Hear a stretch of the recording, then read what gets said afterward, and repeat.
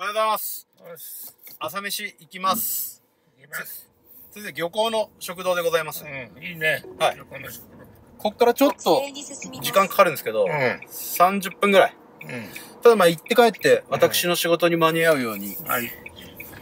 え先生、体調しばらく崩してましたけど、いやいや、大丈夫ですまあ、やっぱり寝る場所が変わるとね、はい。フーとかそういう関係で、そうですね。うん、ちょっと、まあ、崩すというより、はい。違う、やっぱりさ、あの、境遇に置かれると、そうですね。なんとなくっていうだけで、元気ですよ。おうん。いいですねま末期がんの患者とは思えないほど元気だ。はい。昨日カープが負けてちょっと残念だけど、もうじ、もうあの、試合が一方的だったから、はい。もう事前に、あのー悔しいためのビールも飲んでし、そうですね。何の問題もありません。先生、昨日、もうこれ9回の裏で最後の攻撃で、こっから反撃するかいやこれはら、ね坂本一緒に見ようって言ってたのが8回の裏でしたよね。いや、今、ちょっと変則日程でね、はい。え関東地区でやるか、その、ホームでやるかが、はい。長期なんだよな。はい。パリーグでは同じチームと6連戦なんて、ちょっと、うんあるんですね。もう変則日程だからちょっと誤解しちゃった。もう何言ってるのかわからないです。うん。すごいですね。うん。あ、で、先生、ここの通り、国道150号って言うんですけど、うん。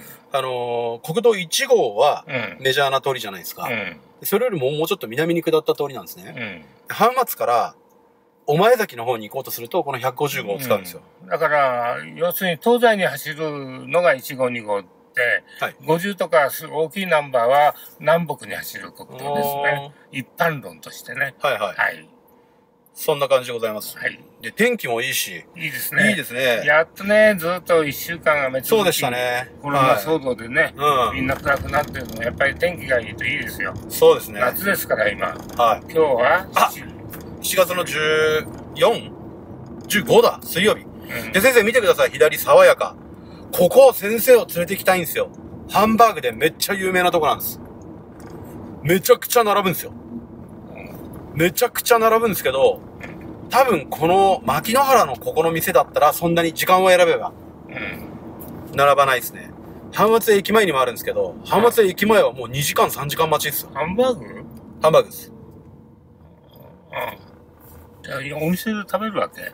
店で行くんですよ。でなんか東京でハンバーグって言うと、ツバメグリルってイメージないですか？有名なハンバーグだと。なんか、マクドナルドが持って帰るようなイメージなあ、それはハンバーガーですね。ガーでした。ハンバーガーガです。ハンバーグが違うんだ。ハンバーグーなんですよ。いや、新発見した。で、あっちは本格派で、かなりいいっすよ。なんか先生ばっかり映ってる。俺が映ってない。うんちょっと待って。こうかな。俺が学生の頃ね、あの、そんなに有名じゃないんだけど、はい。どでかいハンバーグ、とにかく大きいハンバーグをね、はい。そういう専門で作ってた、流行らない食堂があったけどね。どこですか？あのー、四つへ、あの、ーうん富ヶ谷だよ。今、安倍総理が住んでるとこだよ。全然わかんないですね。そうなんです。そんな感じなんです。まあ先生の体調が良ければ。で、もう何回も言ってると思いますけど、先生、がんで糸食道を全摘出してるんですよ。ステージ4の3だったんですよね、先生。4の B だよ。4の B。4の3というと、もう死んでる？?3 の次が4だからさ、はい。そのまたに1、2、3つけられたんじゃ困る？あれ ?4、例えば3、もうすぐ最初は？頭は1、2、あの3、4。初期は1、2、3、4なんで元素がね。はい、はい。で、さらに細かく言うと4の B というのは、はい。AB のもっと悪い方だと思うんだけどね。うん。あ、4×2 の8種類ってことですね。だけど、それはまあ、うん普通は1、2、3、4ではいみんな理解してるから、うん。うん。なるほど。で、そんな感じで、食事がですね、苦痛なんですよね。うん。先生はそうなんですよ。で、食事が大好きな僕と、この、ね、うん火と油のね、うん。水と油か。うん。火と油じゃ燃え上がっちゃいますうね。ん。そんな感じなんですよ。うんで、だからいつも飯を食う食わないで喧嘩してるんですよ、うん二人して。まあ、積もり積もって離婚だね。もう結婚してたんですか。うん。まあ、夫婦みたいな生活してますからね、今うん。ね。うん。あなた起きて夫、婦するよ。あなた起きてみたいなうん。ね。で夫先生婦、するよ。先生、はい。あの、俺があえてスルーしたのになんで2回言ったんですか？失礼しました。じゃあもう一回言っていいですよ。いや、夫もう、もういいよ。そんな、で、で、あとはですね、ここら辺は、有名な港っていうと、焼津港があるんですよ。うん、焼津有名ですね。はい。で、焼清津港水港はどうなんですか？あ、清水港も有名ですよ。ですよね。はい。ここら辺はもうでっかい港がいっぱいあって超面白いですよ。うん。で、焼津魚センターって、多分全国的に有名なんですね。うん。で、焼津魚センターのすぐ近くなんですよ。で焼津魚センター行ってもいいんですけど、うん行ってもいいけど、多分ね、混んでるんですよね。焼津魚センターは。いつも。僕はね、さすがに知らなかったね。知ってるのはさかなクンだけだった。そうですね。すいませんね、うまいこと拾えなくて。魚、漁業ってやつですよね。じゃあ先生、もう一回知ってるのはさかなクンだけだったって言ってもらっていいですか？知ってるの漁業はや、早すこうぎた。いうのはやらせってね。早すぎた。よくない。早すぎました。で、先生、ここの右側に発射してっていう、発射し屋。まあ、先生ラーメンあんまり、あれですいや、ね。好きなんだけど食えないんだよ、だから。ああ、そうか。だから、半ラーメンのある店とかね。そうですね。半チャーハンのある店とか、はいはいはい。やっぱりね、残すのはまあ、まあ、半分ぐらいいいじゃないって考え方もあるだろうけど、うん。残まあ、すのは残すのはあれだからね、ちょっとね。多少苦しくても食って、はい。後で、まあ大体食った後は1時間ぐらい休憩するんですけどね。そうですね。食いすぎるともう1日休憩になっちゃうから。はい。うんで、。先生の休憩はもう、ほんと体調悪いと横になってないとまずいんでしょ？なんか。いや、まずくはないけどうね。ん。横になると横になる、なって苦しいんだよな。は食物は上から下に下がるから、はい逆に横になるなという説もある。ああ、なるほどね。椅子に座ってて。水平になっちゃうからね。だけど人間ってのはやっぱりさ、はい。横になってる方が楽じゃない？うん。うん。で、先生食ったら体調悪くなるのに、目の前に飯があるともう我慢できないんですよね。思わず食っちゃうんですよね。脳みそはあれなんでしょ？食べろって指示を出してるけど、うん。その体の方が受け付けないんでしょ、うん要するに、だから、なかなか辛いですね。もう手術後7年経ったからね、はい。だいぶ慣れてきたけど、はい。3年間ぐらいはまあほぼ寝たきりでね、もあの頭のそのし機能と、う、はい。うんだから消化器の機能の連携がうまくいってないんだよ。うん。大変だ。じゃあ先生、今日も朝飯いっぱい食っちゃダメですよ。はい。分かってます。そこは、うんもともと漁師さん、この前あの、島根、鳥取か、うん。鳥取で食ったみたいな、漁師さうんん。のための食堂を一般開放して、うんで、それで超人気になったっていうところなんで。だからね、量が多いんですよ。定食なら定食って言う方がありがたいよな。ああそうですね。あいうふうにあの目の前に小鉢があると目ね。の前に思わず取っちゃう思わず取っちゃうんだよな。それだけ美味しそうで。はい。結局最終的にバイキングと一緒ですよ。そうですね。結局取りすぎてさ、あの、ホテルなんかでもそそういう感じだよな。そう。あの時確か俺、イワシの煮物とう、ん。イワシの煮物だけだったじゃないですか、俺取ったの。イワシの煮物とうん刺身、うんあ刺身じゃない、ご飯と味噌う汁。ん。そう、3品だったんですよ。うん。先生は、ハムエッグと、うん。なんか小鉢うん。と、小鉢と魚だったよ。魚も取ったんですよね。で、ご飯と味噌汁でしょ。うん。あれ確かあれ食った時、1日ダメじゃなかったでした。いや寝込んじゃって。一日ってことはないだろうけど。夜の方は復活しましたっけ？いや、まあ、そんなに、あの、はい本当は半分を6回食えっていうのドクターの指示なんだよ。うん。だけど、そんな面倒なことはできないしさ。はい。だから、あの確かにそうですね。外で食うのも、6回食うって言ったら大変ですよね。うんだから、いまあ、家にいるときは、えー6回に分けてパンを1個ずつ食うとかね。はい。そりゃ、まあいいんだろうけど。うん。まあまあ、先生、そんな感じなんで、うん。えー、今日は、朝飯は食ったら、うん昼飯は食わずに、うん。でも朝な、結構量多いからな、ハンバーグ食いたいんですけどね。ハンバーグ食いたいけど、まあ先生の体調次第で。で、俺もあれなんですよ、先生。うん。思ったんですけど、うん。昨日なんて動画ほとんど撮ってないんですよ。うん。僕の旅の。うん。いろいろ忙しくて。大変ですね。そうなんですよう。ん。で、なんかまあここら辺だと知ってるから、うん。まあ別に冒険しに外に出なくてもいいかなっていうのもあるんですよね。はっと気づいて昨日寝るときに、全然動画撮ってねえと思って。まあそんな感じですよ。で、先生、この川がですね、はい。何川なのか、何川なのちょかなっと水かさ増してんじゃない？増してます。これ普段こんなにないですよ。多分ね、大井川？大井川か安倍川かどっちかだと思うんですけど。あ、違うわ。ちょっと先生今危ない、見えない。そんな感じですよう。ん。僕の実家も天竜川のすぐ近くなんですうよね。ん。で天竜川もやっぱりこんぐらいの川があって。天竜下りって言葉なかった。ありますあります。ねえ、はいなんか。だから、大井川はなんかあの江戸時代にその、私が今日は休みだとか、そうです。ね、やってあの、箱根八里は馬でも越すが、越すに越せない大井川。うんそういうことか。はい。なるほど。箱根の山だったら馬、馬でも牛でもなんとかなるけど、大井川だけはどうにもならんっつって。まあ、泳がないのかね。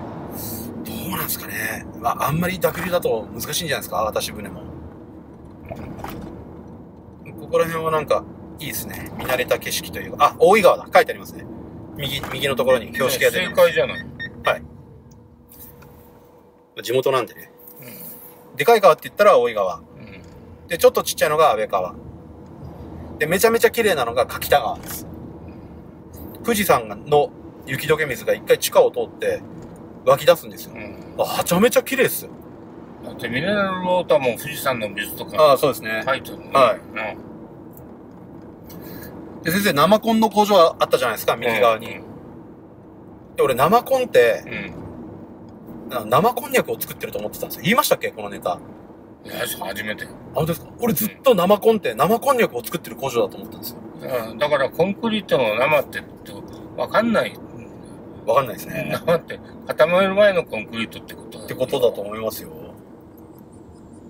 こんにゃくって石を砕いたような色してるじゃないですか。うん。灰色で。だ石を砕いて何かやると、こんにゃくができるんだって思ってところで、い今、正解は何だよ。こんにゃくはなんで作るんだよ。こんにゃくはこんにゃく芋です。うん。でっかい芋。あんな大きな工場でさ、こんにゃく作るわけがないでしょ。まあでもほら、小学校低学年の可愛い、ね。可愛い頃の坂本ですから、うん許してくださいよ。生意気な頃の坂本だな。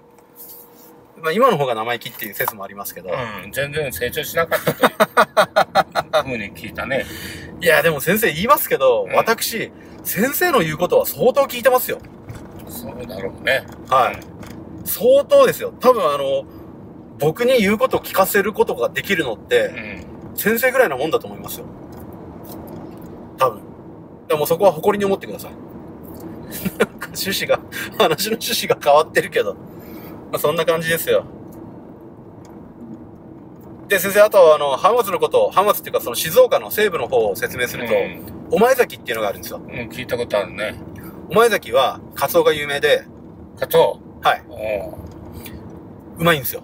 じゃあ、磯野家も住んでんのかな？磯野家は違うんじゃないですか、あれ、世田谷じゃないですか？カツオ、そっちのカツオか。お前崎の方行っても美味しいものを食べれるんです。美味しいところもうん。うんあ。るので、でもただちょっとこっからお前崎ですと、距離があると言いますか、なんというか。あそこ行くと譲り合うから。お前が先って。あー、ああ、失礼しました。ちょっとね、まだ寝ぼけてるもんで、ー、頭がね。そうですね。まあそんな感じですよ、先生。もうだってこ、ここら辺はもう都会ですね。しゃぶ葉とかあるし、モスバーガーとかマックとか。やっぱりね、はい鳥取にいたことを比べればね、はい。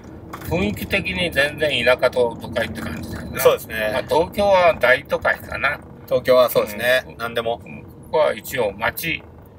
鳥取は完全田舎だったな。うん。でも鳥取のあの田舎っぷりも良かったっすよね。いいよ。俺むしろあっちの方がいいかも。うん。たまに行くのは田舎がいいよ。そうですね。うん。であのー、鳥取の旗小屋でたまに電車が通るんですよね。あれ、山陰本線だったうん。あれ良かったっすうね。ん。あの、また行きたいな。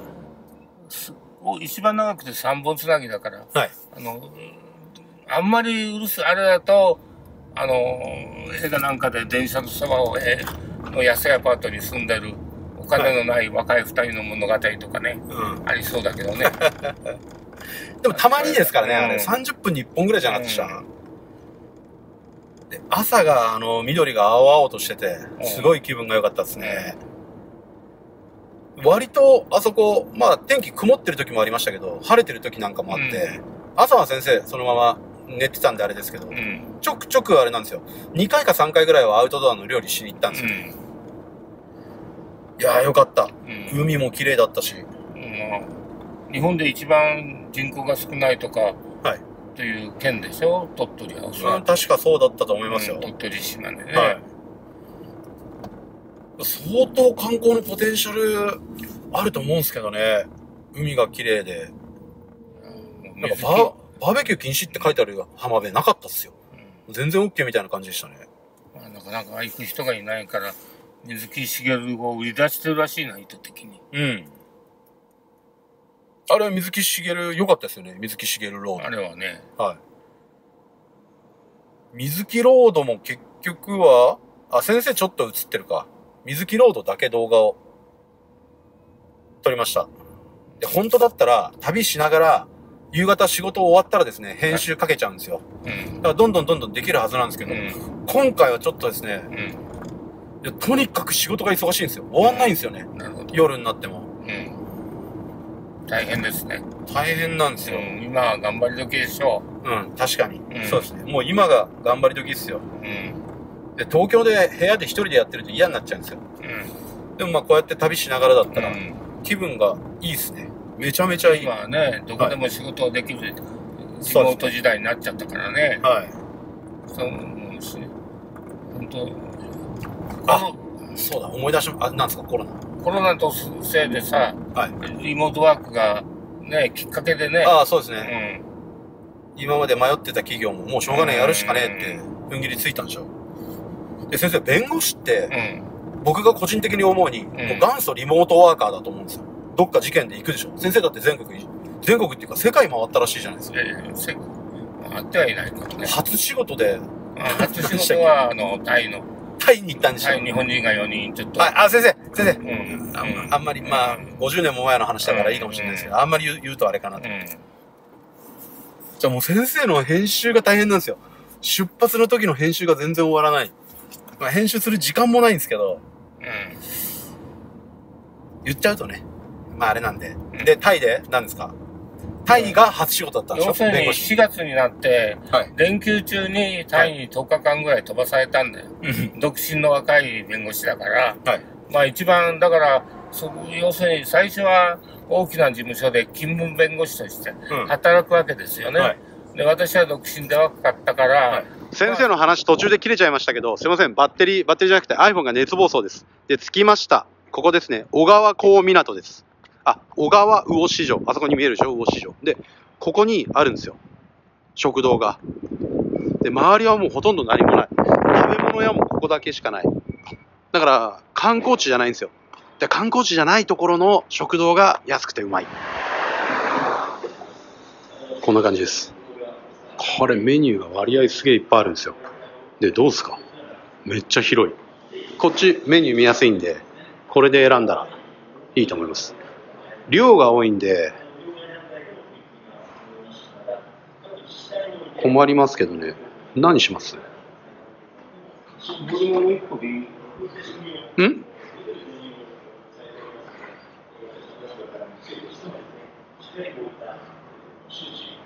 どれにします？俺は海鮮丼食べたいな。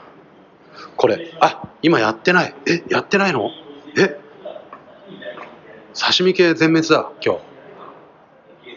そしたら、これにする。生桜エビ、しらす定食。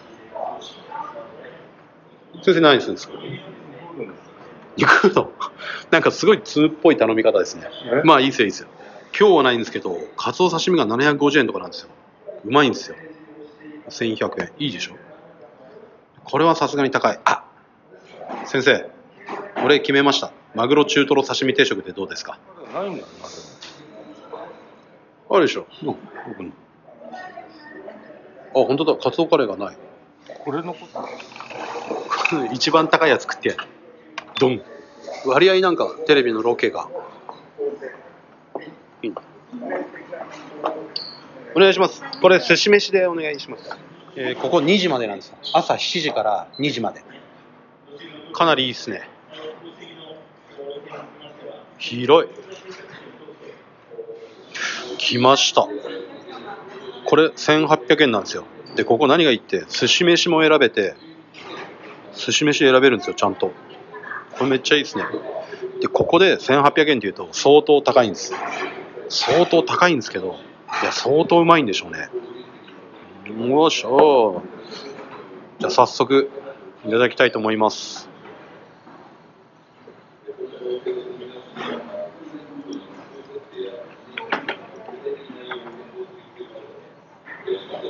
うまい。あ、うまい。これ観光地だったら3000円、3000円ぐらいするんじゃないですか。で、ご飯もちゃんと寿司飯。で、これ先生のカツオカレー。で、先生ガンなんで、これ全部食べちゃうと多分死んじゃうと思うんですよ。なんで、僕がですね、先生のためを思って、先生これ僕が食いしん坊でってわけじゃないですよ。先生のためを思って、僕がちょっと食べるっていう話ですよ。わかりますか先生？さすがにカレーの食い残し、先生の食い残しを食えるほどは仲良くないんで、でもちょっと絵的に汚いですね、これ。じゃあ俺もカレーいただきます。じゃあすいません、先生いただきます。あ、うん、うん。美味しい美味しい。漁港のカレーって感じする。多分これシーフード入ってますね。そしてカツですよ。これカツオ、カツオのカツ。あ、うまい。うま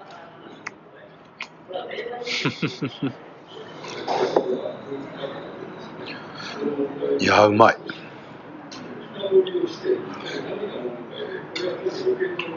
うん。うん。ごちそうさまです。いや、食いました。これ、めっちゃうまいですよ。なんかうまいマグロ特有の、なんていうんですか、こう、ねっとりした感じ。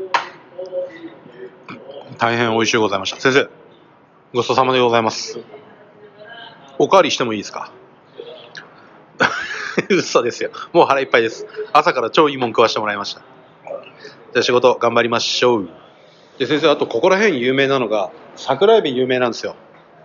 で、桜エビの、え、どこ行った？そっちにいたの先生、聞いて、聞いて、聞いて。先生、もうダメだ。では皆さんに、桜エビが有名なんですよ、ここら辺、駿河湾って。なんで、ここに来たら食べるべきは、いや、まあ、桜エビ生しらすって言いたいとこですけど、いや、何食ってもうまいですよ。口コミ見ると、このマグロホホステーキ、いいって書いてありましたね。で、僕が最初に来た時には、確か、サバの天丼食ったんですよ。で、これを大盛りにして、さらに超大盛りにしてくれって言ったら、とんでもない量出てきましたね。いや、もうほんととんでもない。あそんな感じですよ。サービスめっちゃいいっすよ、ここ。で今日はお刺身があんまりなくて、多分、あの、雨の影響で漁ができなかったからなんじゃないかな。そんな気がします。ここら辺も食いたいですね。これいくらなんだろう。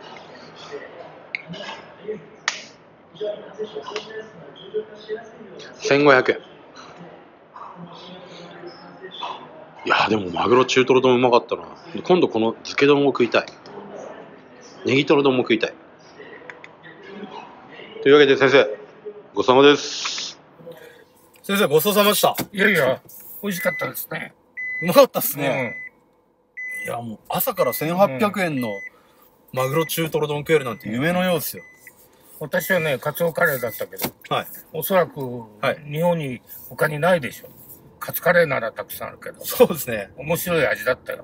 ですようね。ん。あれよかった。量はどうでした？大丈夫でした？ほら、減らしてもらったから、はい。ちょうどよかったぐらいかな。うんまあ、ちょっと多いかもわかんないけど、はい。朝食にしてはね。いやーもうありがとうございます。頑張ります、これで仕事。で、先生、今日も昼外に多分飯食いに行っても、あの、隣のマックとかそれぐらいになっちゃうと思うんですよ。うん。なんで、そんな感じで、先生は先生で仕事していただいて、はい。やそんな感じですよ。はいというわけで夜まで。夜は飯食い行くかどうか、先生の体調次第ですよね。はい。お腹空いてたら、うん。近くのあの、有名店。安い、なんていうんですか、B 級グルメっていうか、その地方独特のうん。チェーン店っていうのが、うん。あそここら辺の地方だと、爽やかなハンバーグが有名で、あと、うんゴミハッチンっていう中華料理屋、うんラーメンと餃子が有名な。それは爽やかでハンバーグがいいね。子供の頃はハンバーグってよく食べてたけど、大人になってから食べないもんね。ああ、そうですよ。ね。なんか子供が好きそうな食事じゃない？ハンはいバーグ、って。はい、はい。本格、本格派のハンバーグですよ。ハンバーグともう一つは何だって？えっ、と、ゴミハッチンっていう中華料理屋。大正、大衆中華料理。中華料理というと、まあ普通の中華料理か。そうです、そうです。ラーメンとうん。餃子が有名有で、名めっちゃ安いですよ。ラーメンと餃子で780円とかですからね。で割合うまいんですよ。え？割合うまい。俺はすごい好きですね。ただ浜松ですと、めちゃくちゃあるんですよ。1キロ走れば3つあるとかいう、そういう世界なんで、何が？そのゴミハッチンっていうあお店がか。お店が、はい。チェーン店なんですよね。コンビニか歯医者がみたいな。えそうです、そうです。そんぐらいの勢いで利用できるんですよ。東京の法律事務所みたいなもん。そうですね。で友達とか浜松遊びに行くときは、まあ1回2回ぐらいは食うっていう感じです。あれで高かったら頭にきますけど、安いから全然 OK ですね。安いのかなうん、安いと思いますよ。いやいやいや、餃子ってのはあれは、安くしようと思えば安くなってからな。あいくらでも、そうですね。ただで餃子、定食に餃子つけるとこもあそうなんですよ。るしさ。はい。だから、はいラーメンはまあ500円以下なら、えー安いということになるんじゃないかね。うん。まあ、後楽園とかバカ安ラーメンもあるじゃん。そうですね。後楽園ラーメン280円ですもんね。うで、うまいんですよね。後楽園のあの醤油ラーメンって。うん俺、あれすごい好きですよ。大盛りを2杯食うとか。そんな感じです。え、先生、餃子って好きなんですか？いやー、どうかね。あのー、餃子は本当お店によって、まあ、ただの餃子というかね、うん普通の餃子と、はいすごくいろんなものを入れたはい餃子と2種類、まあ簡単に言えば2種類あとな、餃子専門店なんかうまいんじゃない？ですね。餃子専門店、ここら辺はわかんないですけど、まあ餃子専門店は今度、浜松来た時にでも。うん。で、先生、すごいこと言っていいですか？うん。いいですか？う道迷ってます。ん。うん。ちょっとどっか止めて、いつものことじゃない？そうですね。どっか止めて、ちょっとナビ設定していいですか？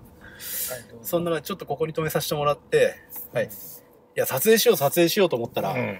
ナビ設定するの忘れちゃったんですよ。うんというわけで皆さん、夜の部、撮らなかったら、どこにも行かなかったと思ってください。いひょっとしたら夜の街に行くかもしれません。や、行かないでしょ。あ、行かないって。行くんですか？あの行くならこお付き合いします小池都知事が行っちゃいけないって言ってました。はい。いや、3密を避ければ大丈夫です。三密だよ。3密避けていきますか？いや、行きません。いいとこ知ってます？街がないです。いいとこ知ってますよ。いや、街がないです。街がないとか言うと。でかい街じゃないですか、ここら辺。まあいいや、はい。そして今日の昼飯です。かっぱ寿司。食いに行く時間がないんで、テイクアウトで頼んで持ってきました。これ食って頑張ります。もう今日仕事終わったんですけど、カープ戦、今3対0で負けてんすよ。先生もうふてね。起きてます？で僕は今仕事一段落ついて、サムネ作ってます。えー、で今日は多分このままどこも行かないでしょうね。で先生、俺、今日の分の仕事がまた立て込んでてよ夜中までやんなきゃいけないんでどこも行けないんですけどどっか行きたいとこあったら言ってもらえれば車出しますよいや、今日はないです。いいですか？はい。じゃあまあまた明日ですねはい。明日ハンバーグ食い行きましょうよはい。はい